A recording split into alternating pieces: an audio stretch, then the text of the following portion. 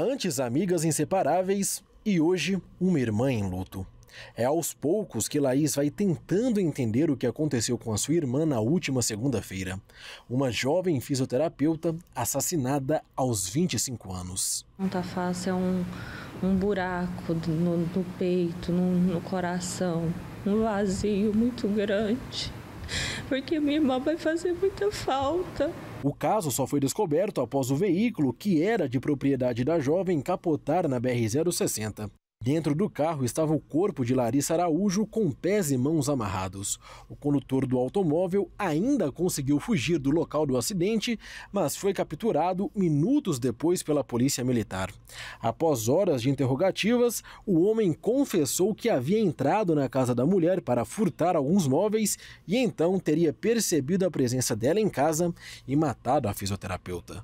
Uma perícia realizada no corpo da jovem apontou que a fisioterapeuta foi morta por asfixia após ser estrangulada com lençol de cama. Este mesmo exame evidenciou ainda que antes de morrer, Larissa Araújo, de 25 anos de idade, foi violentada sexualmente. Sempre que foram apresentadas provas das quais ele não tivesse como negar o envolvimento dele, ele ia mudando seu discurso até confessar o crime, dar detalhes de como enforcou a vítima, ele estrangulou ela, disse que estrangulou ela com lençol, admitiu inclusive que a estuprou, que depois disso levou os objetos da casa. Há dias a família busca por alguma resposta que possa ajudá-los a ter um pouco mais de conforto.